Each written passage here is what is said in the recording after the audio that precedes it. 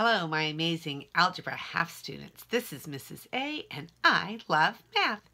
And we are here tonight with lesson 47, and we're going to be talking about volume. And while we talk about volume, we're going to get to play with blocks because they're fun. And um, we're going to re refresh a little bit. Area is different from volume. But area we've already talked about. An area is the size of a surface. And a surface, remember, is one side of a figure, okay? And it could be the number of floor tiles that you would need on the floor to make the floor pretty, or how much rug in square yards, it's supposed to be in square yards instead of is square yards, Okay, so we measure um, area in square units. Okay, and volume, on the other hand, I'm trying to get that glare off my board here. I need to move a little bit. Okay, volume, on the other hand, is 3D. And 3D is three-dimensional figures. So volume is figures that are not flat figures that have length and width and height or depth. So when we're talking about volume, we're talking about something that is not flat, like my set of blocks here. Okay, so we're going to be talking about those here shortly. So area is for something that is flat, and it is the measure of the surface, okay, of an item. And then on this next little board here, we have volume is how many cubes of a certain size would it hold? Okay, and we're going to talk about that when we get our blocks. So volume is how much something will hold. And when we're talking about volume, we talk about cubic measure. We could have each side of a figure be in feet and then when we talked about the volume, it would be in cubic feet, and we'll show you some of those, or maybe in cubic centimeters. And my blocks are almost exactly one inch each. Okay, so my little block here, let me pull one of my little blocks off, if I can. Maybe I can't. Okay, and it ran away. Oh, they're stuck together. Really stuck together. Okay, here we have. So my block is an inch by an inch by an inch. Okay, so my little block is almost exactly an inch cubed. Okay, so when we're talking about a cube, we're talking about a figure that has got a side and another side and then a top and a bottom. It's like a box. Okay, so my little box here is about an inch on each side. So we're going to call that figure right there a cubic inch because it's an inch by an inch by an inch. An inch this way and an inch this way and an inch deep. Okay, so we have um, volume is going to be length times width times height.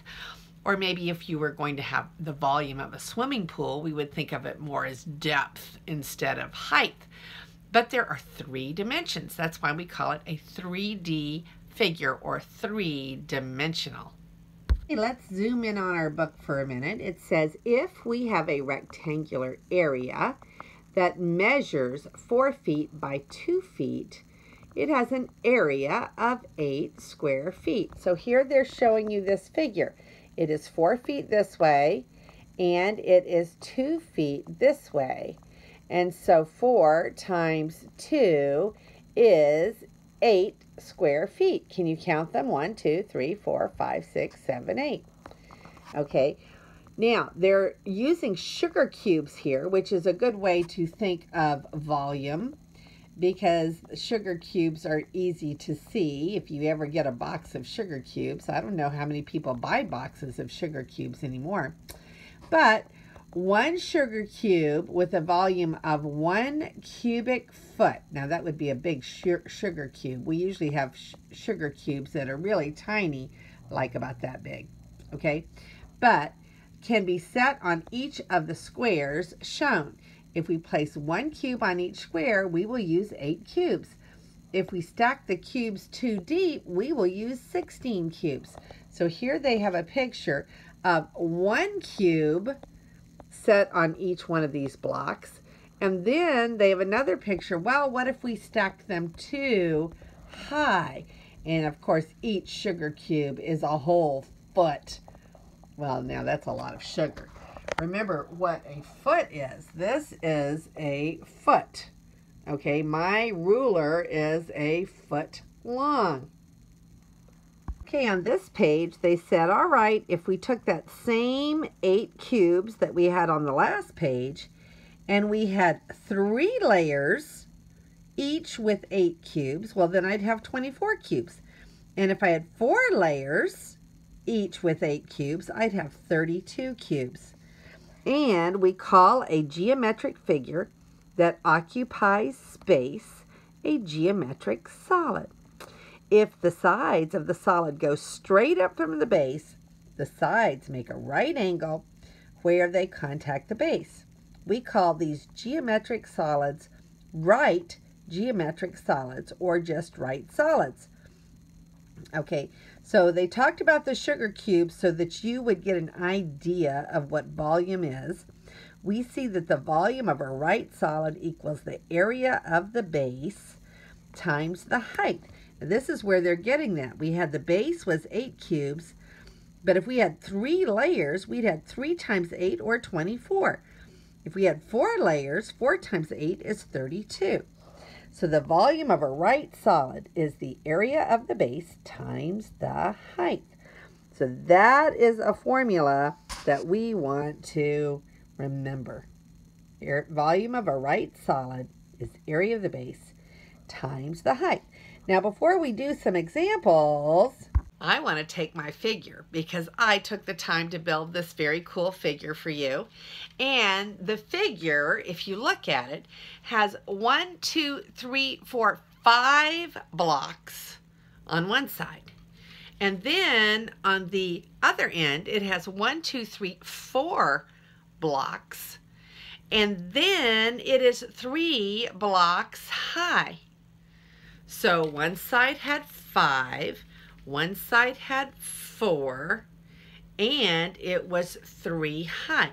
So let's think about what is the area of one of the base. Area of the base is going to be the five times the four because we've already talked about area.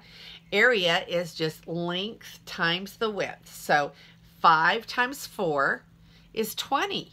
And if I did my math right, I should have 20 squares because this is the area of the base of this figure.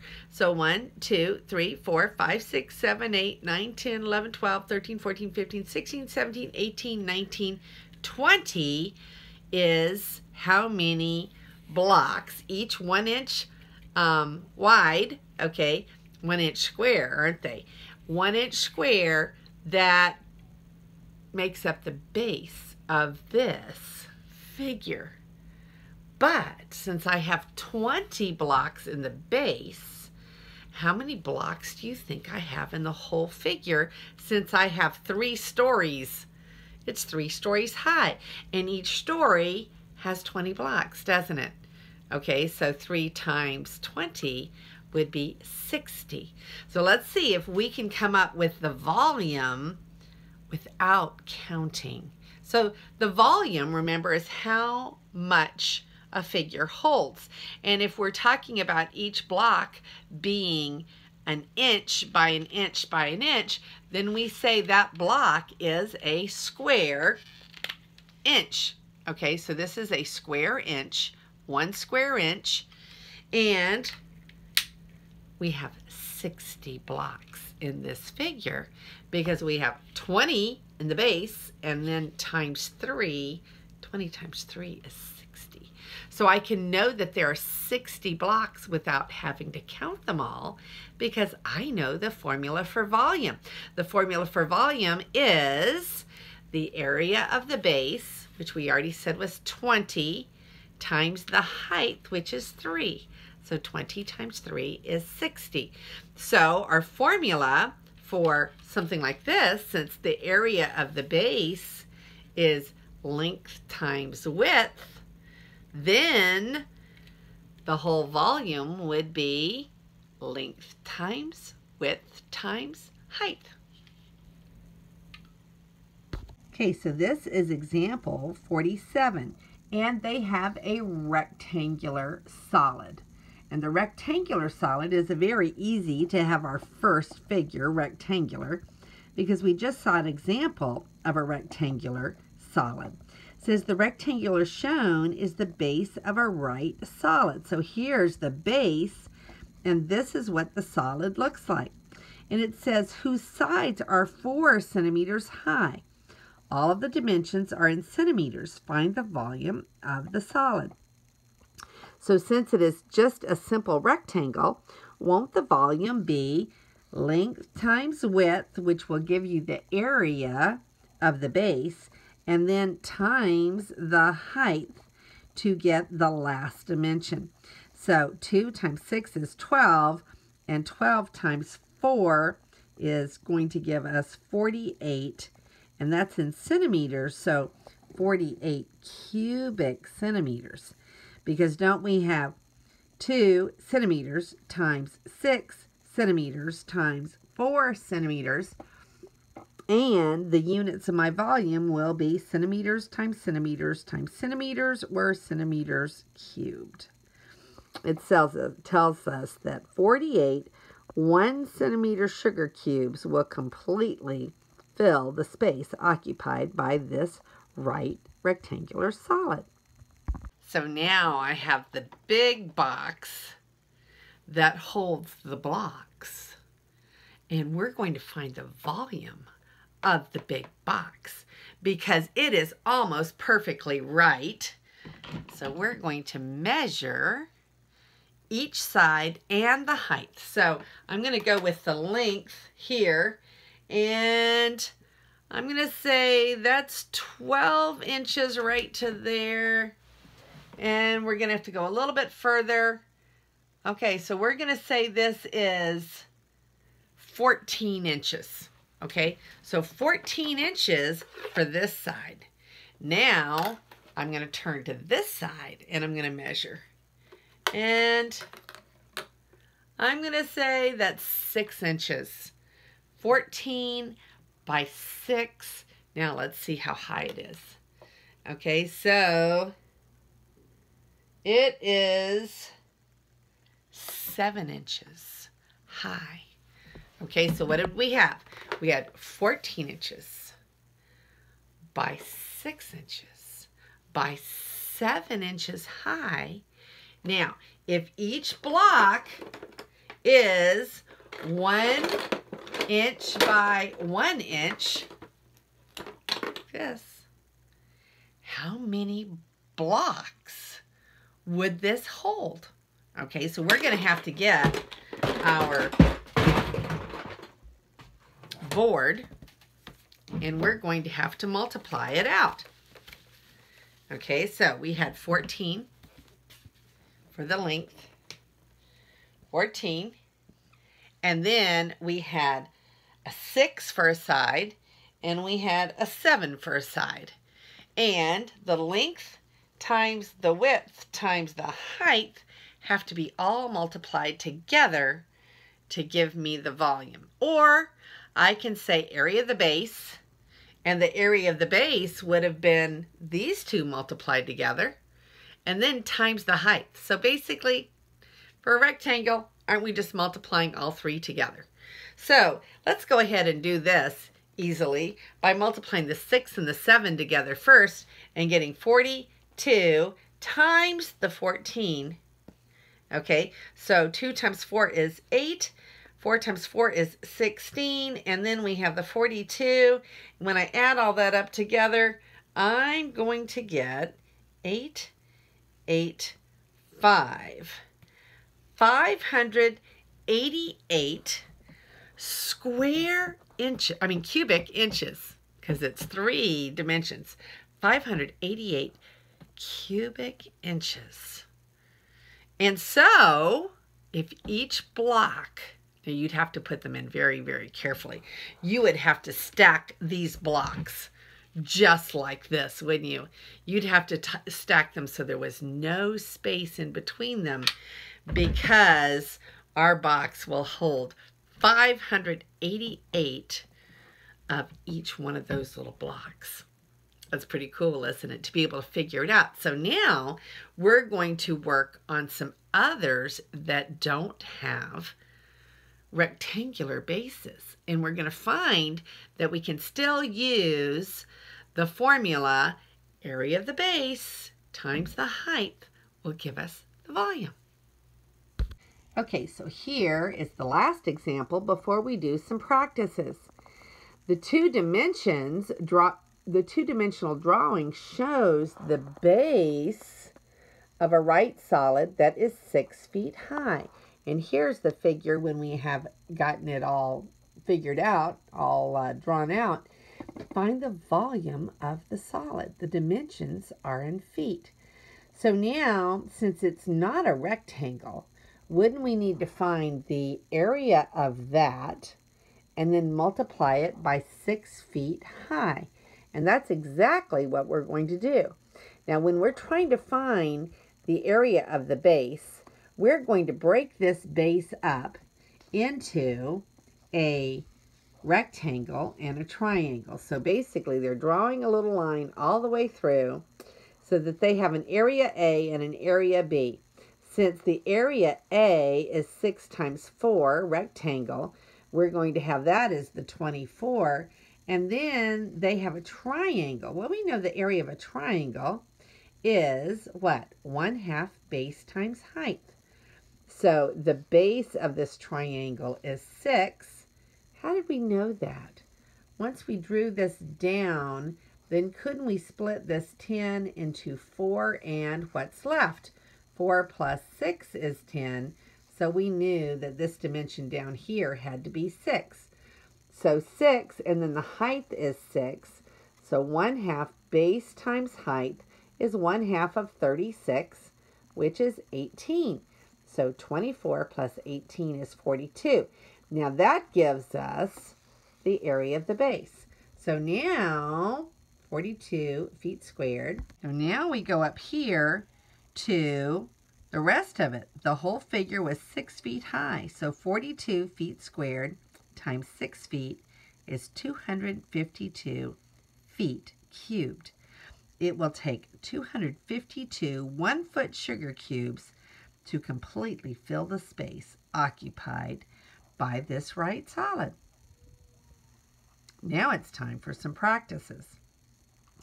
Okay, now let's look at the first practice It says find the number of one centimeter cubes that can be placed in a rectangular box measuring 4 centimeters by 6 centimeters by 10 centimeters.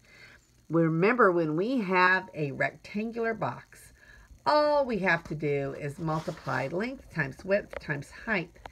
Now, one of my sides is 10. Wouldn't this be easy if I multiplied the 4 and the 6 together and got 24 and then multiplied the 24 by 10 and got 240? 240 cubic centimeters. Uh-oh, I did the problem for you. Oh my goodness, I'm going to have to let you do the next one. Okay, so on B, it says on the left, we show the base of a right solid with a height of 12 meters. Dimensions are in meters find the volume of the solid. Now, the, the base is an L shape, isn't it? But you can see when they laid the L down, it's kind of like a wall. Maybe it's a wall. And the wall has height, and it has the same shape all the way around, doesn't it? So it is a solid, And now we're going to have to do this using our formula area of the base times the height. Okay, everybody get that problem down on your paper and pause your video. Okay, the first thing we're going to have to do with this one is find the area of this base. So I'm going to go ahead and make this into two parts. And this first one had an 8 times a 2, so its area is 16. And this other one was 8 this way, and it was 2 more this way, so this side is 10. So we have 10 times 2, or 20. And if you divided it differently, that's fine. You should still come up with 16 plus 20 or 36 square. Let's see what units they said. They said the dimensions were in meters. Okay, so we have 36 square meters, and then they said that the figure was 12 meters high. Okay, so we're going to take the area of the base times the height, and we're going to get now cubic meters. Okay, because volume is always in cubic measures. So what is 36 times 12? 6 times 2 is 12. 3 times 2 is 6 plus 1 is 7. And 36. So when I add it all up together, I get 2 and 13 and 4. 432 cubic meters. 432 meters cubed. That would be our volume. And this one is your last practice. On the left, we show the base of a right solid whose height is 2 meters. Dimensions are in meters. Find the volume of the solid. Notice that we have two marks for right angles, but not over here. This is not right over here. This is not a square or a rectangle. So we're going to have to do it somewhat like our um, practice our example 47.2, we're going to have to shave a little bit of a triangle off of there, aren't we? So here we go to our drawing board over here. Okay, so now as we're doing this, we see 6 on the top, but 8 on the bottom. Since this part right here, we just split into a rectangle, then this is 6, and this over here will have to be the remainder. 8 take away 6 is 2, so we're going to split the 8 up into a 6 and a 2. And now this triangle has a base of 2 and a height of 5. Okay, because these are right angles over here. So our area here is 1 half base times height well, 1 half times 2 is just 1, and 1 times 5 is 5. So that has an area of 5 in there. And then this has an area of 5 times 6, or 30. And those are in meters. Those dimensions are in meters. So 30 plus 5 is 35 square meters. Okay. And then this whole figure is 2 meters high. You see the figure here? It's 2 meters high. So we're going to take our 35 square meters and we're going to multiply by the 2 meters high. And square meters times another meter is meters cubed or cubic meters. And 35 times 2 is 70. So we should have 70 cubic meters as our volume. Well, I hope you had fun playing with blocks and learning a little bit about volume. I did. This is Mrs. A, and may God bless your day.